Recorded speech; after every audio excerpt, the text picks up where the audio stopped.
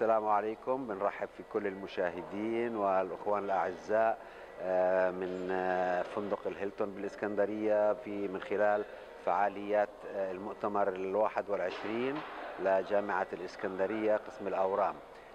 أنا الدكتور سامي الخطيب استشاري الأورام والكشف المبكر أمين عام رابطة الأطباء العرب لمكافحة السرطان ورئيس جمعية الأورام الأردنية. حقيقة في البداية بشكر جميع الزملاء في جامعة الإسكندرية وبخص زميلنا رئيس اللجنة العلمية الدكتور علاء قنديل على هاي الدعوة الكريمة. طبعا آه، راح يكون في لي كلمة بالافتتاحية لهذا المؤتمر.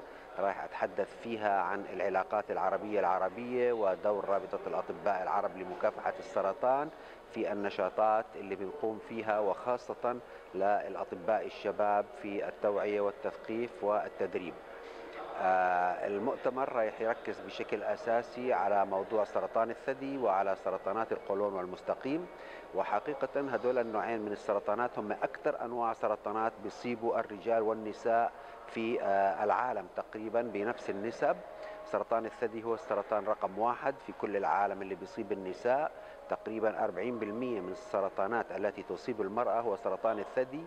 ولحسن الحظ سرطان الثدي من السرطانات التي يمكن اكتشافها مبكرا وبالتالي آه، الشفاء منها ممكن يكون آه، سريع ونسبه عالية جدا. وهذا بيعتمد بشكل أساسي على المرحلة اللي بيتم فيها اكتشاف السرطان وكل ما تم اكتشاف السرطان في مرحلة مبكرة كل ما ارتفعت نسبة الشفاء.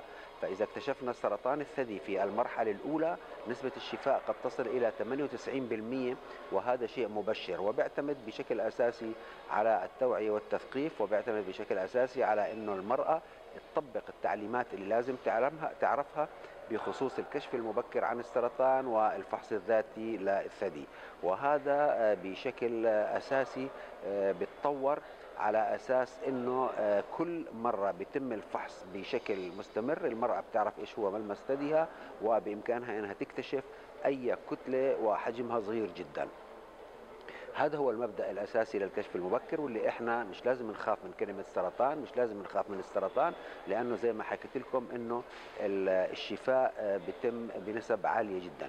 وكل ما تم الاكتشاف في مراحل متطورة أكثر كل ما كان لسوء الحظ آه، نسب الشفاء أقل. طبعا آه، العلاجات اللي بتتم لسرطان الثدي مش فقط الكيماوي في علاجات عديدة ممكن يكون علاجات في الجراحة ممكن يكون العلاج بالكيماوي العلاج بالأشعة أو العلاج بالهرمونات والعلاجات الموجهة الحديثة جدا اللي حاليا آه، موجودة في الأسواق واللي رفعت نسب الشفاء إلى نسب عالية جدا.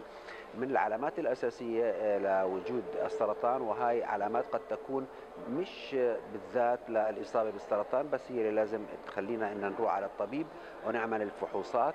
مثلا وجود كتلة في الثدي وجود كتلة تحت الإبط انكماش بجلد الثدي آه، اختلاف باتجاه الحلمة آه، ممكن يكون في تغيير في جلد لون الثدي. بس ما بدنا نخاف بأنه هذه عبارة عن أعراض آه، عامة قد تكون لشغلات عديدة جدا ومن ضمنها قد تكون للسرطان فبالتالي إحنا بننصح إنه كل امرأة إنها تعمل الفحص الذاتي للثدي كل شهر مرة بعد ثلاث إلى أربع أيام من انتهاء الدورة الشهرية وإنها تعمل الفحص السريري كل سنة مرة عند الطبيب وفي عمر ال 45 وما فوق إنها تعمل صورة الماموغرام وال ultrasound.